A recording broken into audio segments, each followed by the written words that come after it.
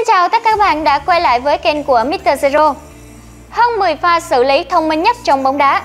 Bóng đá là môn thể thao đòi hỏi sức mạnh, kỹ thuật và khả năng phán đoán tốt, giúp các cầu thủ kiểm soát trái bóng và tạo điều kiện cho đồng đội ghi bàn.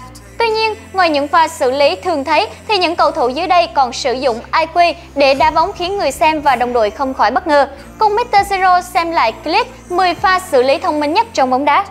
Và Kim Chen xin chúc cho tất cả các bạn có một năm mới an khang thịnh vượng, vạn sự như ý. Và đừng quên bấm subscribe kênh youtube, like fanpage bóng đá hài hước để nhận ngay những thông tin mới nhất đến từ Mr. Zero các bạn nhé.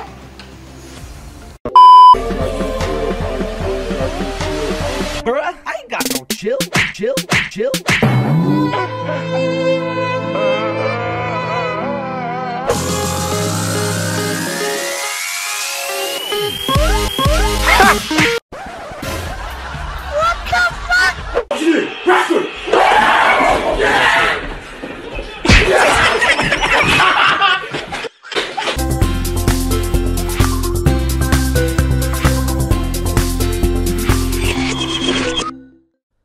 Trong bóng đá, ngoài những lúc căng thẳng đến tột độ, có không ít tình huống khiến tất cả phải phì cười vì sự hài hước của nó.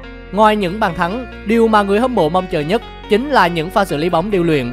Luôn có những cầu thủ khiến cả cầu trường nổ tung bởi kỹ thuật siêu đẳng của mình và cũng có những pha xử lý bóng cực kỳ khéo léo, thông minh, sáng tạo và cực kỳ hài hước của các ngôi sao trên thế giới. Mời các bạn cùng thưởng thức những pha xử lý thông minh nhất trong bóng đá qua clip tổng hợp sau đây.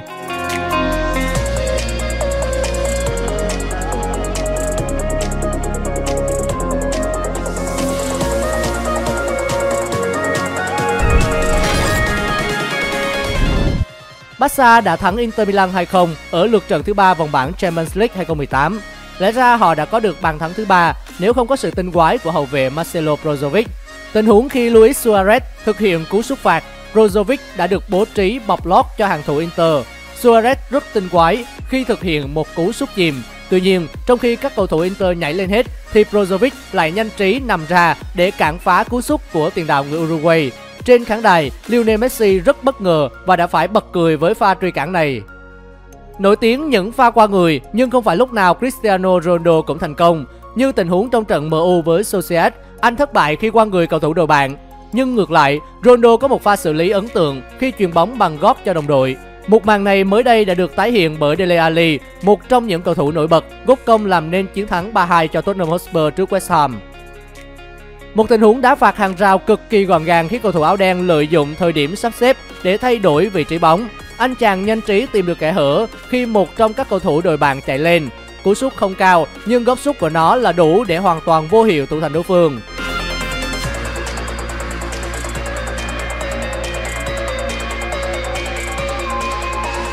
Lại một tình huống phạt đền khác, nhưng lần này đội bóng áo xanh không may mắn như vậy nữa. Cú sút với đường bóng chìm nhanh chóng xuyên qua bước chân của các cầu thủ áo xanh khi họ nhảy lên. Quả bóng vào lưới khiến cả thủ môn đội bạn ngỡ ngàng khi chưa kịp chuẩn bị. Pha xử lý bỏ bóng qua người khá bất ngờ khi ai cũng cho rằng anh sẽ đón bóng thì cầu thủ này lại xoạc chân để bóng xuyên qua đến chân đồng đội phía sau và nhanh chóng chạy chỗ trước khi người này bật lại cho anh. Lucas là một tiền vệ phòng ngự với sức mạnh, khả năng phán đoán và độ hiệu quả cao trong các đường truyền. Hãy xem màn trình diễn của anh ở khu trung tuyến đi. Tốc độ và động tác nhanh nhạy trên đôi chân giúp đối phương hoàn toàn lép vế khi tranh chấp bóng.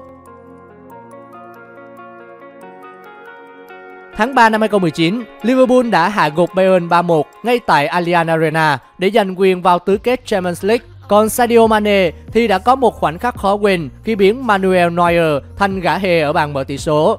Neuer là một thủ môn dạng sweeper goalkeeper với khả năng lao lên như một trung vệ thòng trong những tình huống cần thiết.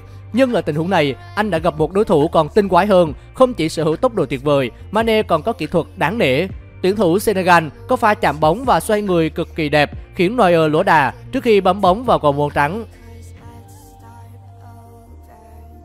Đây là tình huống diễn ra trong trận derby Manchester vài năm trước.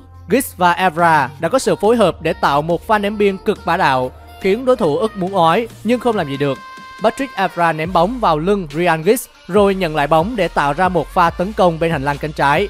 Trong tình huống này, không rõ cầu thủ số 12 trượt chân thực sự hay là cố tình vấp ngã. Nhưng hãy nhìn xem, hành động ấy đã khiến thủ thành đối phương lỡ nhịp, khiến anh chàng thừa dịp ăn đẹp trước chấm 11m này.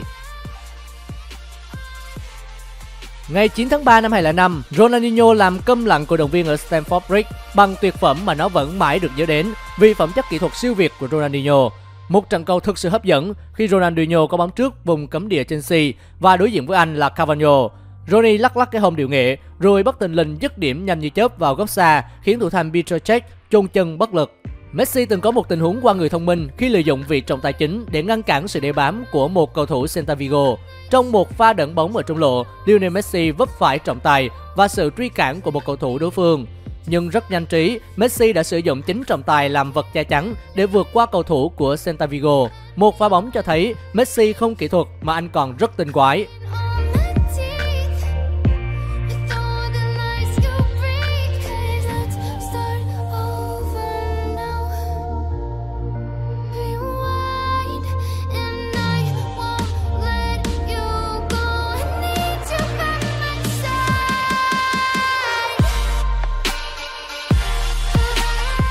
Tình huống hài hước này xảy ra trong trận đấu giữa hai câu lạc bộ Liêu Ninh và Trùng Khánh Lực Phàm thuộc giải vô địch quốc gia Trung Quốc 2015.